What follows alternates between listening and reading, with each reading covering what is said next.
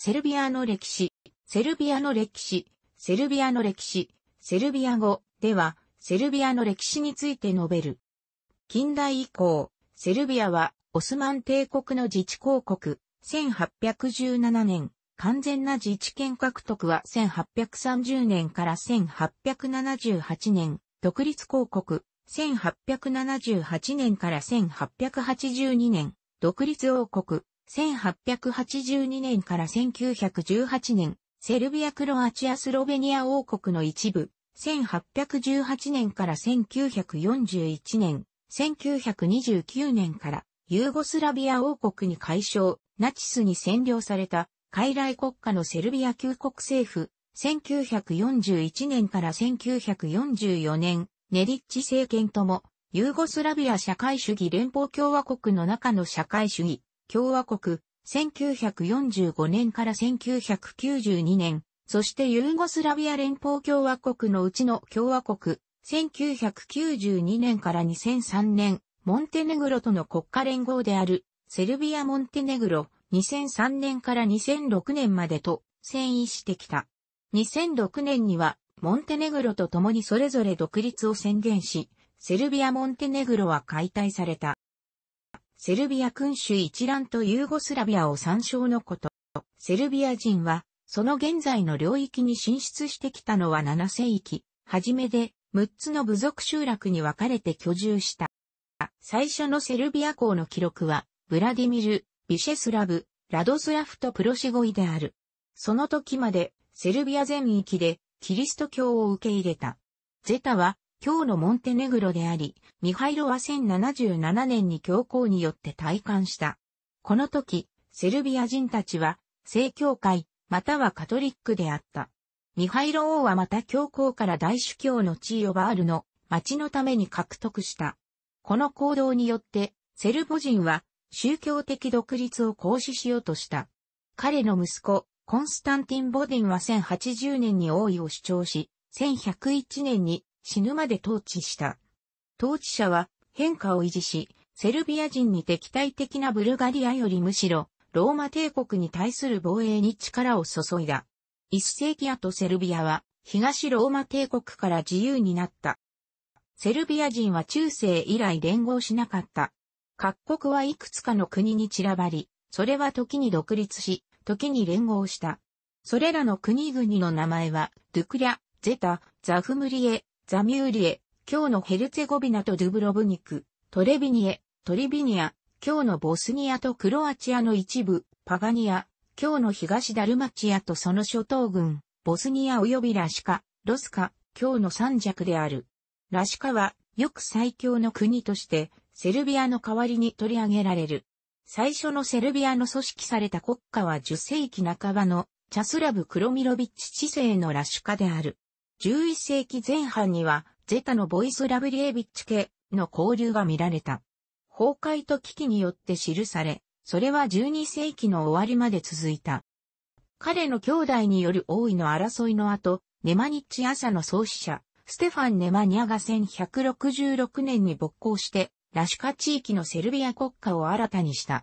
時には、ビザンツ帝国による援助を受けるとともに、時には、同帝国に反抗し、大ジュパンは修道院の建設に多大な注意を注いだ。彼の寄進には、ジュルジェビストゥポビ修道院、アトス山のヒランダル修道院が含まれる。ネマニッチ王朝はセルビアを黄金時代に導いた。それは14世紀半ばのツァール、皇帝ステファン・ウロシュ4世、デュシャンの統治下で絶頂に達した。しかし、最終的には、オスマン帝国に屈服したゼタにて最後となった要塞は1499年に陥落した。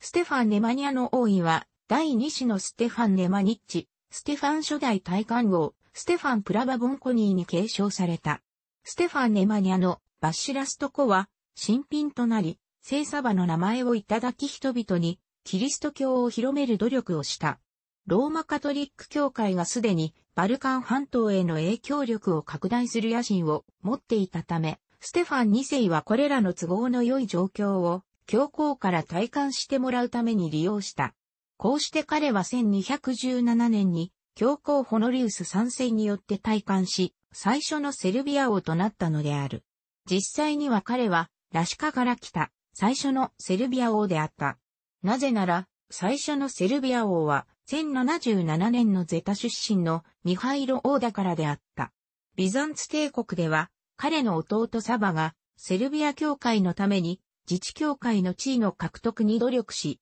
1219年に彼はセルビア正教会の大主教になった。こうしてセルビア人は世俗と宗教の両方の独立を獲得した。1265年、セルビアの統治者は、ステファン・ネマニッチの息子たち、ラドスラブ、ブラディスラブ及びウロッシュ一世へと移った。彼らは国家構造の停滞の時代に足跡を残した。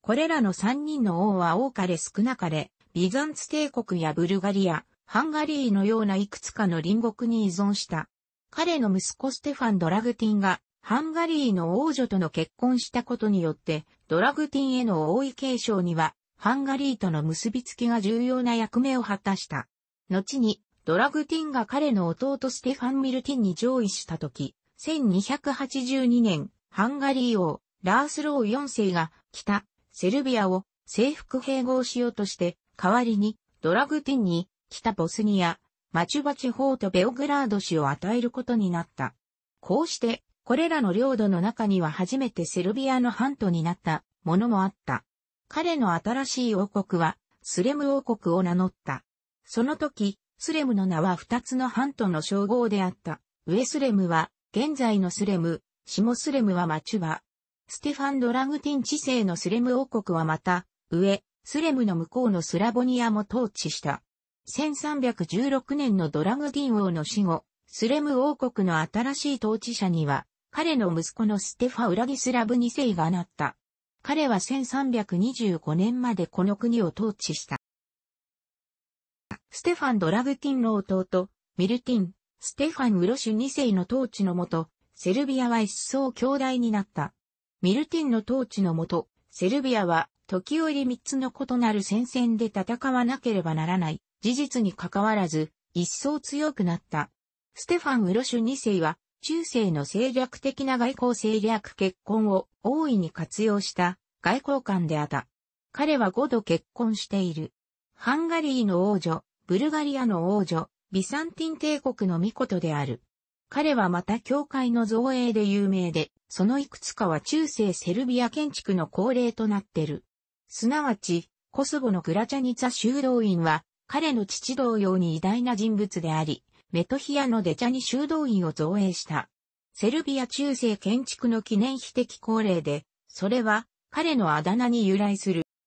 中世のセルビアはヨーロッパにおいて政治的、経済的及び文化的に高い名声を享受した。セルビアは、封建的命令を実行しなかった数少ない国家の一つであった。国王ステファン・ドゥシャン治世の14世紀半ば、中世セルビアは最盛期を迎えていた。これは、当時のヨーロッパ諸国の中でも特色のある法律的業績である、ドゥシャン法典、デュセノーブ・ザコニック、1349年の時代である。ステファン・ドゥシャンは新しい交易路を開き、国家経済強化した。セルビアはヨーロッパで最も発展した諸国、諸文化のひときわ目立つ国の一つとして繁栄した。セルビアの最も偉大なる中世芸術のいくつかは、この時代、特に聖サバの聖規則の時代に作られた。ステファン・ドゥシャンは国土を南、南東、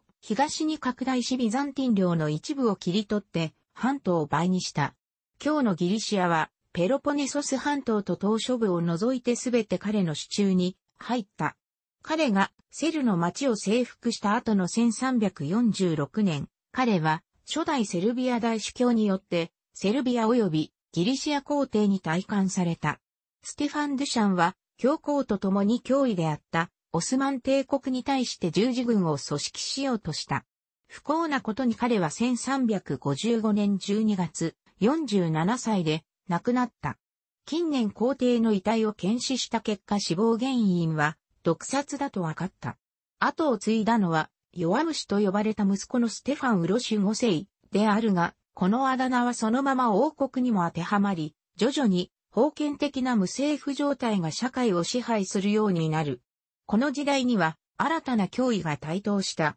それはオスマン帝国でアジアで拡張した後まずビュザンティオンを征服し、さらにバルカン半島諸国を足がかりにヨーロッパを目指していた。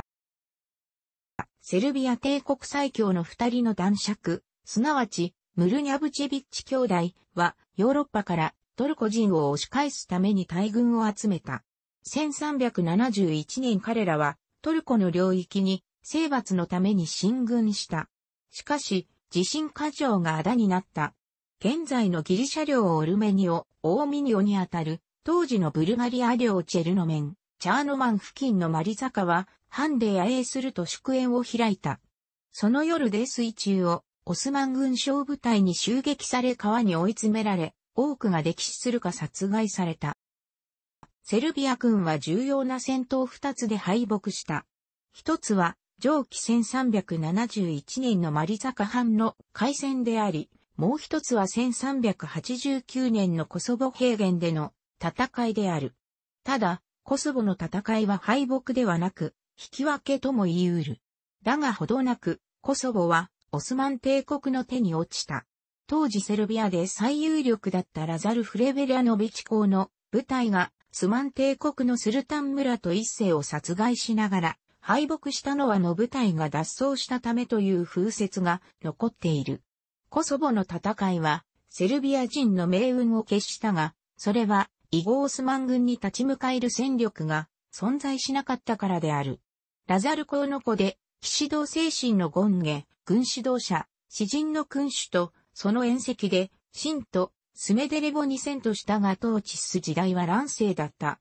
オスマン軍は、スメデレボを1459年に攻略し、さらに進軍して、北部セルビア全域を掌握した。セルビア領で難を逃れた地域は、ボスニアの一部と、現在のモンテネグロ・アルバニアにまたがる地域のみだった。だが、今日のセルビアは1496年以後400年に渡り、オスマン帝国の領土になった。14世紀以後セルビア人がハンガリー王国領を目指して多数移動し、現在、ボイボリナと呼ばれる地域に入植した。ハンガリー王は、領内のセルビア人移民を歓迎して、兵士や国境警備隊長を要した。この地域のセルビア人人口は急速に増加した。オスマン帝国とハンガリーの闘争が続くマ領内のセルビア人は、セルビア人国家の再興を画策していた。1526年8月29日のモハーチの戦いで、オスマン帝国は、ハンガリーチェコの君主ラヨシュ2世を彼の軍ともども、粉砕した。この後、ハンガリー王国領は、オスマン帝国のハントに組み込まれた。モハーチの戦いの直後ハンガリーで、セルビア人傭兵のリーダーだったヨバンネなどは、現在のボイボリナの3地域であるバチュカ、バナト北部、スレムの一部で自治を始めた。権力の絶頂のヨバンネなどは、首都と定めたスボティツァで、セルビア皇帝として自ら体感したが、独立国は短命に終わる。軍事と政治の行き詰まりを見た、この地域のハンガリー諸侯は兵力を結集して1527年の夏にセルビア軍を破った。皇帝ヨバンネなどは暗殺され帝国は崩壊した。ヨーロッパ列強ことにオーストリアは、オスマン帝国領のセルビア人の支援を頼みに、オスマン帝国相手に幾度も戦争した。1593年から1606年のでは、セルビア人はパンノニア平原のバナトで一斉放棄した。スルタンの村と三世は、セルビア人に神聖なばかりか、セルビア人ムスリムにも名誉な聖サバの遺物を焼けて報復した。セルビア人はヘルゼゴビナに抵抗の拠点を設けたが、オスマン帝国とオーストリアの停戦協定調印後は、オスマン軍の報復の前に無力だった。これは、数百年繰り返された。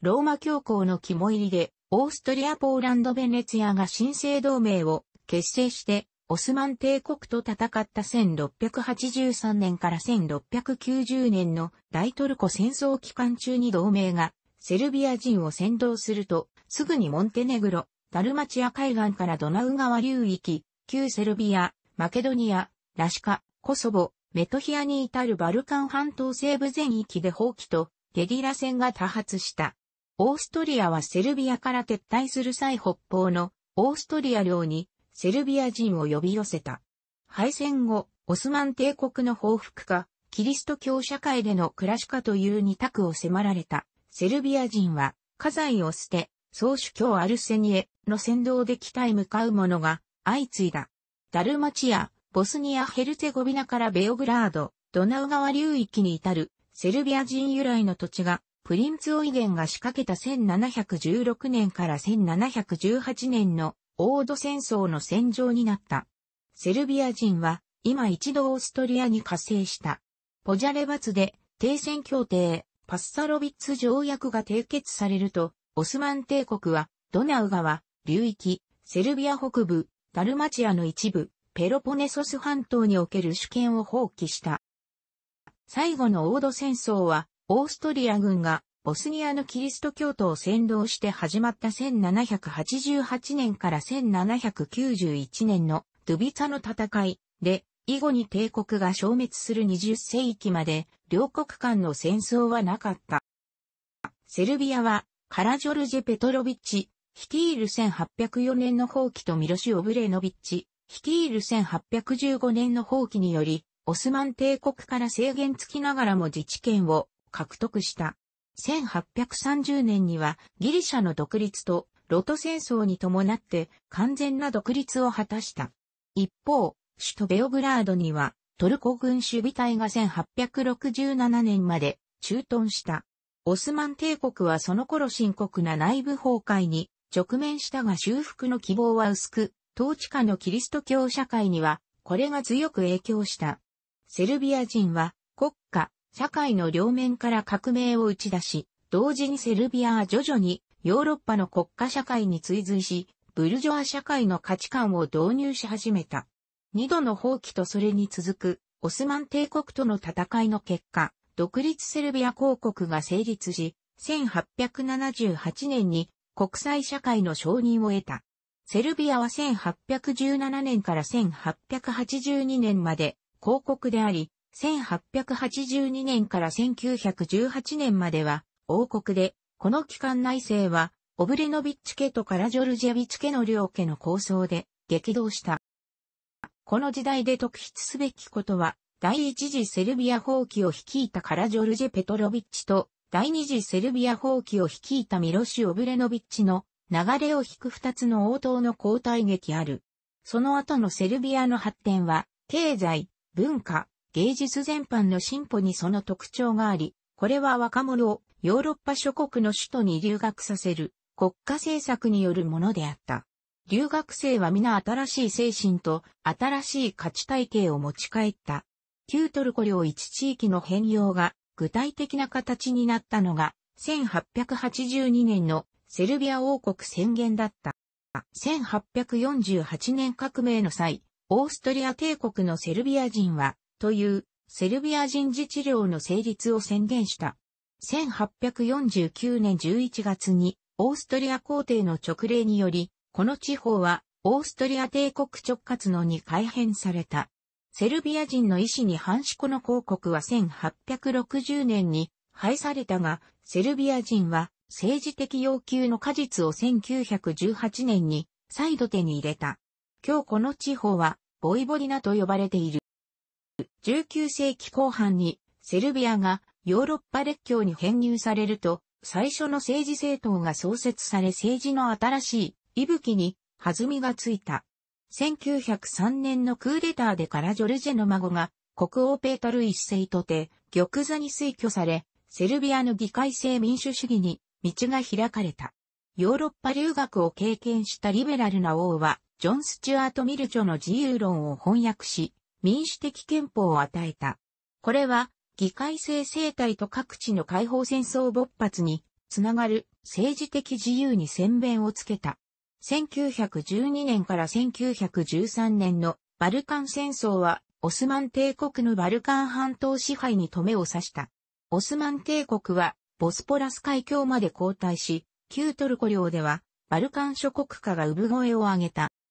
1914年6月28日ボスニア地方の州都サラエボで、フランツ・フェルディナント大公が暗殺される、サラエボ事件が起き、翌7月に、オーストリアが、セルビア王国に宣戦布告して第一次世界大が始まった。国際法規に基づきセルビア・オーストリア両国と同盟関係にあったすべての国が同年8月末までに参戦し世界戦争となった。オーストリアに対しセルビアは防戦一方で、ある程度の成果を収めたが、さらなるドイツやブルガリアの進撃で押され、アルバニア・モンテネグロの山間部に張っていた戦線を放棄せざを得なくなった。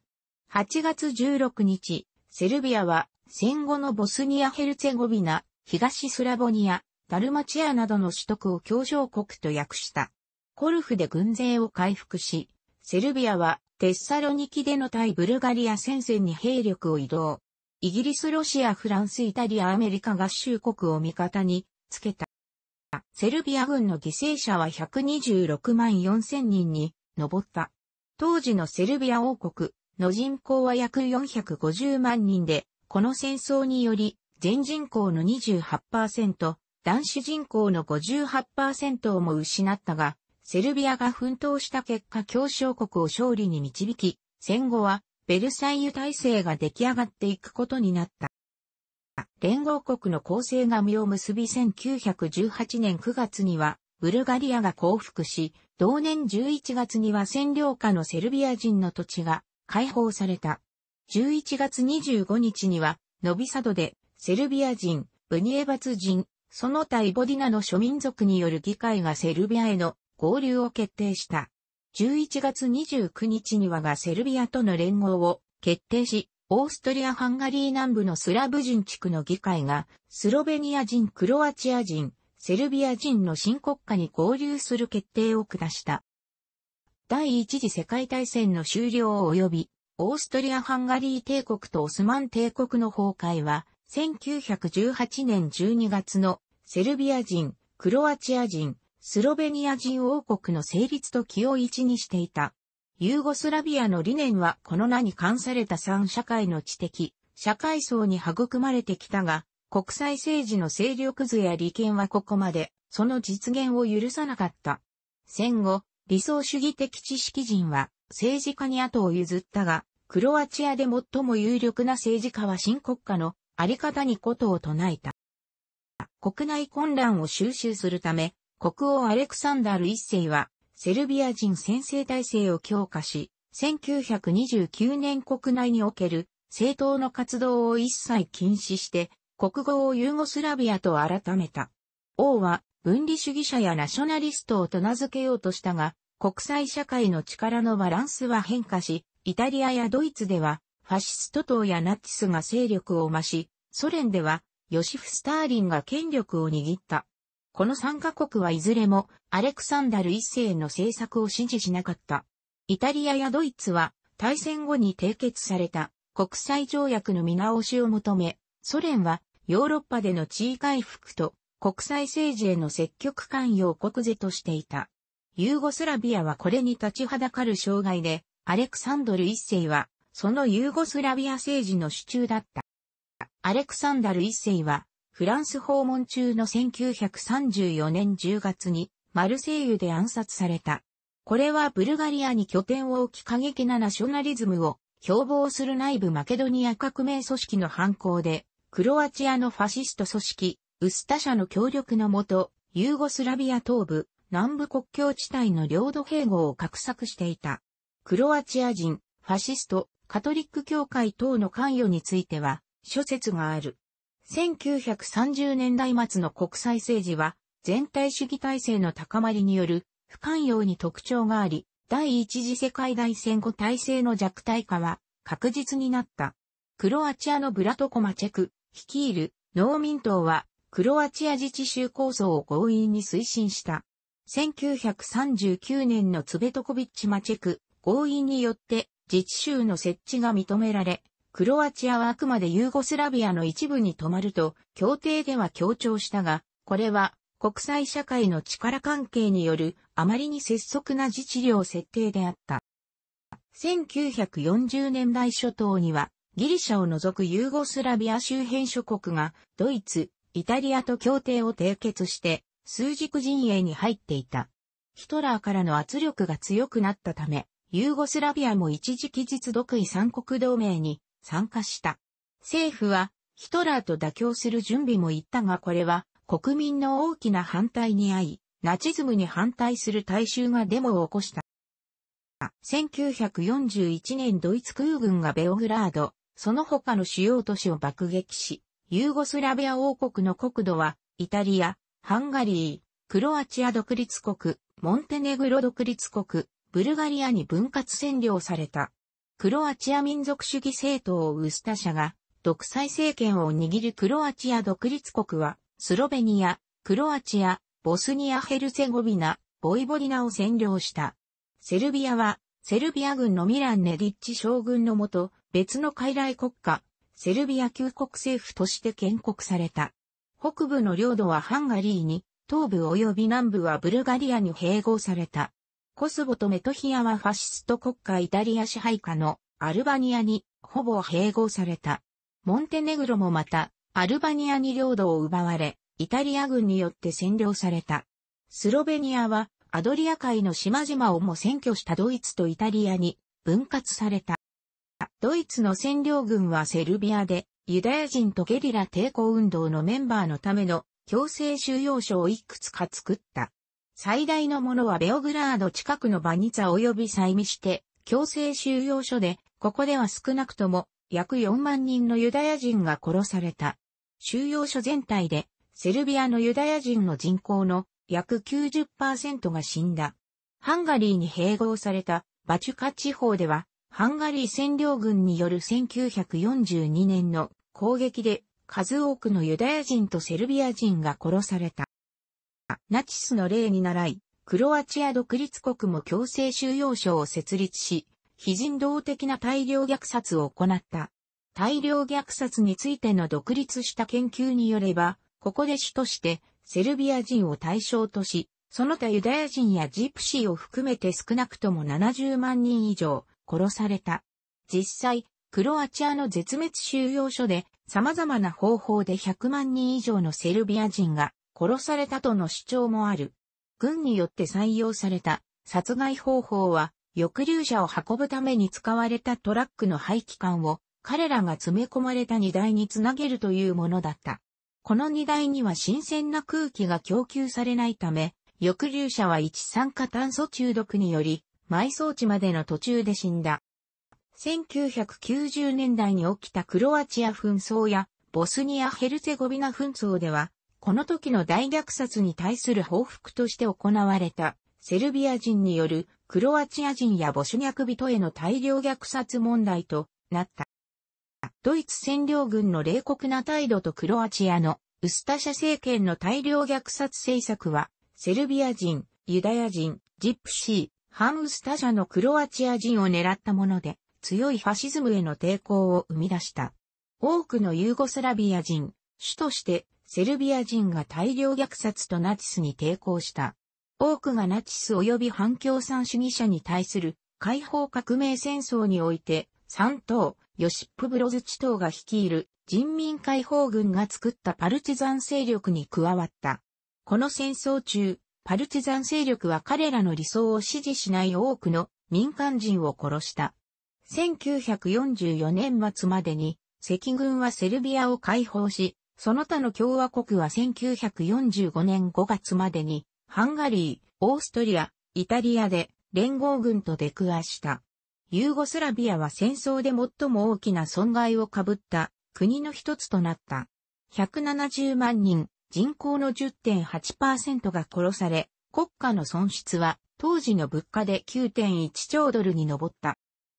第二次世界大戦中の1943年、社会、国家体制の革命的変化が起きて、王政を廃止、共和制を布告した。ヨシップ・ブロズチ党がユーゴスラビアの初代大統領に就任した。それまで農業が主要産業だったユーゴスラビアは中規模の近代産業国家に変貌し、脱植民地化プロセスの支持と非同盟運動における主導的役割により、国際社会での政治的評価を獲得した。社会主義ユーゴスラビアは、セルビア、クロアチア、スロベニア、ボスニア・ヘルツェゴビナ、マケドニア、モンテネグロの6共和国と、セルビア内の2つの自治区、ボイボディナと祖母からなる連邦国家として成立した。セルビア人はユーゴスラビアで最も人口が多く、最も広く分布していた。1974年憲法により、連邦の中央集権体制は緩和され、ユーゴスラビアの各共和国とセルビアの自治区の自治権は大幅に拡大された。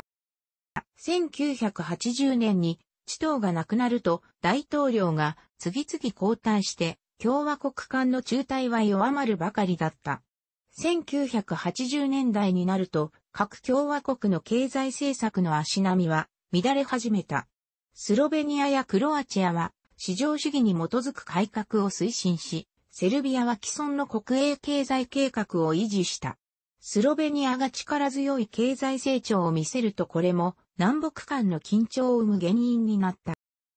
ユーゴスラビアは1991年、92年のスロベニア、クロアチア、ボスニア・ヘルセゴビナ、マケドニアの独立によって崩壊した。残った二つの共和国セルビアとモンテネグロは1992年にユーゴスラビア連邦共和国を形成した。2003年にはセルビア・モンテネグロという連合体になった。クロアチアとボスニア・ヘルツェゴビナの内戦中もセルビアは平和を保っていたが、政権内の一部や組織は内戦の渦中で武装士部隊を指揮するボスニアやクロアチアのセルビア人を支援していた。1998年から1999年にかけてコソボでセルビアとユーゴスラビアの治安部隊がたびたび衝突し、これを西欧メディアが大きく取り上げたことから、NATO 軍が介入して78日間の空爆が続いた。軍、警察などすべての治安部隊をコソボから撤退させて、国際警察機構に交代し、代わりに、コソボがユーゴスラビア連邦に泊まることに、ミロシェビッチ大統領が合意して、停戦協定が結ばた。コソボ紛争参照。スロボダン・ミロシェビッチは、コソボ紛争の後も指導者の地位に泊まった。2000年10月5日に、デモ隊が警察と激しく衝突した後、彼は政権の座を追われた。ボイスラブ、コシュトニツァの指名は、翌朝公式になり、ミロシェビッチは、放棄を公式に認め、大統領の地位を譲った。2001年1月の総選挙の後ゾラン・ジンジッチが首相になった。ジンジッチは犯罪組織に関係するとみられる襲撃者により2003年3月12日にベオグラードで暗殺された。暗殺直後、セルビア共和国臨時大統領ナターシャ・ミチッチは戒厳令を発令した。最後までユーゴスラビアに残っていた2国のうち、モンテネグロでも独立志向が強まったため、これを3年間棚上げし、代わりにユーゴスラビアを文献化された緩やかな国家連合へと移行ることが決定された。ベオグラードの連邦議会は2002年に連邦体制の緩和を可決し、その名称をユーゴスラビアからセルビア・モンテネグロに変更した。体制以降の式典は2003年2月に挙行された。しかし、セルビア・モンテネグロに移行した後も、モンテネグロ側は国家連合の運営には非協力的であった。モンテネグロの独立を問う住民投票の3年間の凍結期間が過ぎた2006年、モンテネグロは住民投票を実施し、国家連合からの独立を決定した。これに伴って、セルビアも国家連合からの独立を宣言。セルビア・モンテネグロは解体された。詳細は、セルビア・モンテネグロ参照。2007年には、コソボ紛争以降セルビアの実行統治から離れていた、コソボ自治州で、独立の強行を施行する、ハシム・サチが首相に就任した。サチは、コソボの一方的な独立を準備し、2008年2月にコソボ大統領、ファトミル・セディウは、コソボ議会にてセルビアからの独立を宣言した。セルビア大統領、ボリス・タディッチは、直ちに独立の無効を宣言し、コソボの独立を認めない立場をとっている。楽しくご覧になりましたら、購読と良いです。クリックしてください。